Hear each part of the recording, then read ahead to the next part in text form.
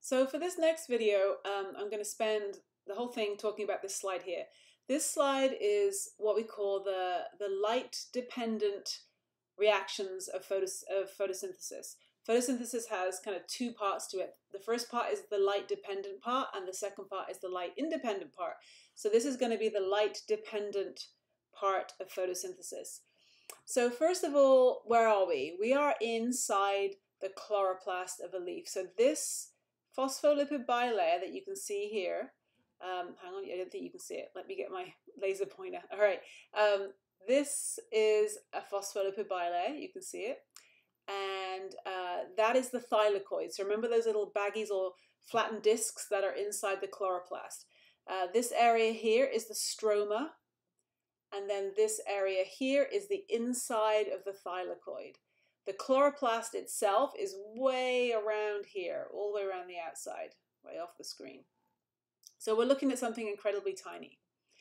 Uh, the next thing to look at is this um, big blue lumpy thing here.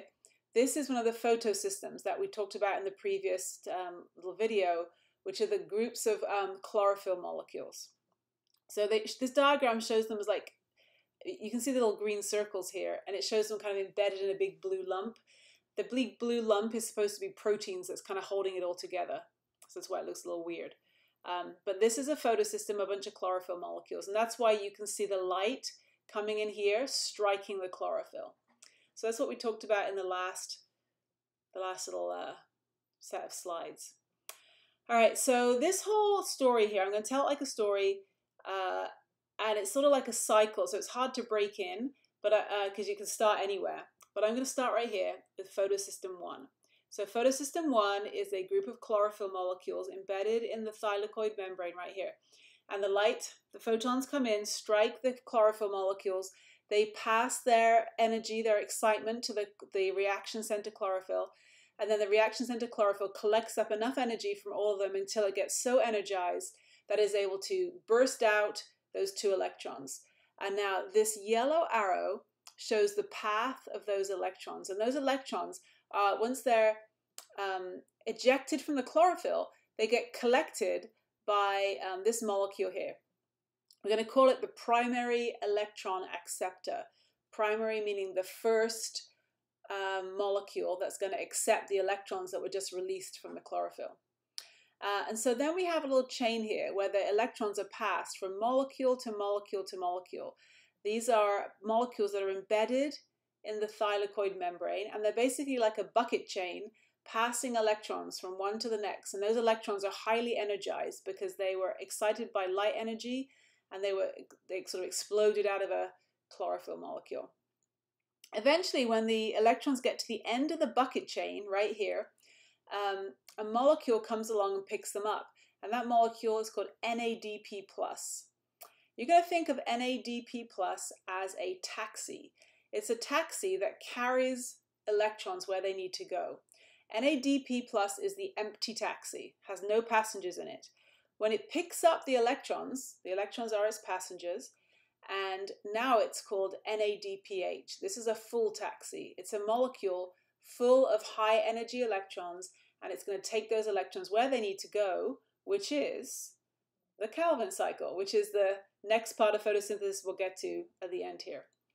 So what, what's happened so far? The uh, light has come and struck the chlorophyll. The energy from light has been captured and the vibrations have been funneled to the reaction center chlorophyll until it has enough vibrations and enough excitement to um, energize electrons and, and eject them.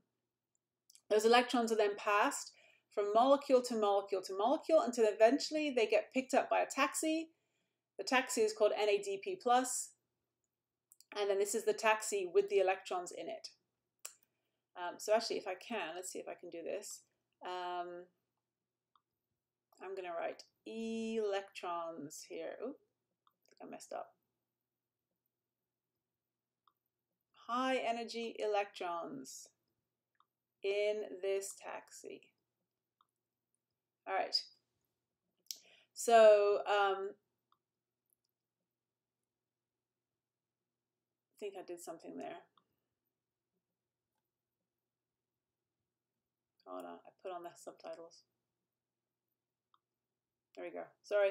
All right, so now we're going to go back here, this photosystem. We have a problem because this photosystem is uh, missing a couple of electrons. It spat some out, so it's, it's, it's down a few electrons. What we're going to do is we're going to go backtrack this way and look at this one here. Here we have another photosystem. Uh, this is photosystem 2. It looks very similar to photosystem 1, and the same thing can happen to photosystem 2, where um, light can come down from space, from the sun, and strike these chlorophyll molecules in photosystem 2, and the chlorophyll molecules are going to get excited. They're going to pass their vibrations to the reaction center chlorophyll. The reaction center chlorophyll is going to get so excited and so energized that it's going to explode out these two electrons. And these two electrons can be passed from molecule to molecule to molecule until eventually they get to photosystem 1 and they can be used to fill in the gap where the electrons were originally lost from here. So this photosystem lost electrons over here. This photosystem is going to pass electrons to replace them. But now where's the problem? Now there's a problem with photosystem 2 because it gave its electrons to photosystem 1, photosystem 1 gave its electrons to NADPH, and now we're, we're down some electrons here. And what so what happens here in photosystem 2 is that water molecules are taken and they are ripped apart so this is happening inside the thylakoid of the chloroplast. Um, water molecules are pulled apart. Now, thinking about water molecules, they're very stable. It's, uh, you know, we boiled them in lab and we couldn't break them down. They just stayed H2O. So this is something pretty hard to do, and plants are doing it all the time. If you look at the plant, doesn't look like anything dramatic is going on inside those leaves, but they are physically ripping apart water molecules um, as you watch them, which is pretty kind of cool to think about. And when the plant rips apart the water molecule, it releases electrons uh, from the bonds of that water molecule that it broke. And so it takes two electrons from water that it split apart, uh, and those are what it uses to replace the electrons that it's lost down this down this pathway. So let's backtrack one more time. This, these electrons get excited and get passed to NADPH. These electrons get excited and get passed to replace those electrons, and then water is ripped apart and electrons are pulled out to replace those electrons. All right. Uh, when um, water is ripped apart like this, um, not only are electrons created uh, or, or, released, not created, electrons are, are released, but also this is um, where the oxygen um, that is created as a waste product of photosynthesis comes from. So the oxygen that plants release into the atmosphere is oxygen that actually came from the water that the plants sucked up water through their roots, put it into their leaves. In their leaves, they rip the water apart, take the electrons out, and then the oxygen that's left over is what they give off into the into the atmosphere. The other part of the water molecule, once it's been disassembled like that, is some hydrogen ions, and you can see those here. So I'm just going to uh, jump forward a, a, quick slide here. Um, when you have water inside the um, inside the thylakoid, the water is ripped apart by photosystem um, two. Some electrons are extracted and that go to the chlorophyll to, to make up the ones that they've lost. Some oxygen is created, and that's the waste that's given off. And also a couple of hydrogen ions are released and um, those are going to hang out in the thylakoid right now. We're going to come back and see what happens to them right now. Okay, back to this slide. Sorry, this slide. All right, the last part that we haven't talked about yet on this slide is um, going on here with these purple arrows. So as those um, electrons are passed from photosystem 2 along this path to photosystem 1, they start off with high energy. They're, they've been released from a highly excited chlorophyll. They're really excited. They're vibrating a lot. And as they're passed from these molecules, PQ, this big thing, and PC, these have names. it's not important. Um, these molecules that pass the electrons along uh, actually squeeze out some of the energy for themselves from the electrons. So by the time the electrons get here, they have no energy left. They're still electrons, but they're not vibrating anymore. They're not super excited. Doesn't matter because photosystem 1 doesn't care. It just wants any old electrons to fill in for the electrons that it lost. Um, but when they came out of photosystem 2, they're really excited. By the time they get here, they're not excited anymore. Where did all that excitement go? Um, the energy or the excitement was used by these molecules here. They use some of the energy from the electrons to pump or push hydrogen ions from the stroma out here through a channel and into the thylakoid space. So we're pumping or pushing hydrogen ions in here, in here. Now remember, hydrogen ions are charged. They cannot cross a membrane on their own because of their charge. So they're going to have to have a, a channel or a tunnel to go through. And in addition, they're not going to want to go in on their own because there are already a lot of hydrogens in here because of these ones that came from the water that was split. So the water that was split produced electrons, oxygen, and hydrogen ions. These hydrogen ions can't get out because they're trapped behind the membrane. They can't cross a membrane.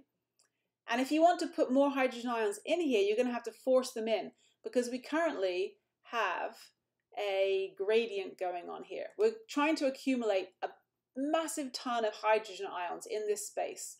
Some are coming from the water that was split and ripped apart, and some are being forced in extra by these, these pumps here. And they're actually, they have to be forced in. It takes energy to do that. The energy to push them in comes from these electrons uh, which are passing along here, and these this PQ and PC molecules are squeezing energy out of the electrons and then using that energy to push hydrogen ions into this space. So at the end of this, you end up with a big puddle of hydrogen ions trapped inside the thylakoid. They're trapped, they can't get out, they have a charge, they can't cross the membrane. Luckily, though, the thylakoid very thoughtfully has placed this protein in its membrane.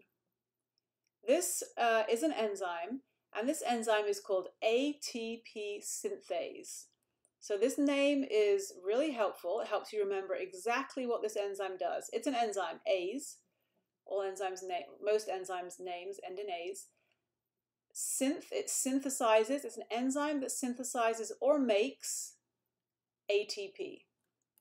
So this is a really cool enzyme. It's able to create molecules of ATP, and it does that by taking an ADP, adenosine diphosphate, plus an individual phosphate and gluing them together to make an adenosine triphosphate. So we start off with adenosine with two phosphates and we stick a third phosphate on the end to make it ATP.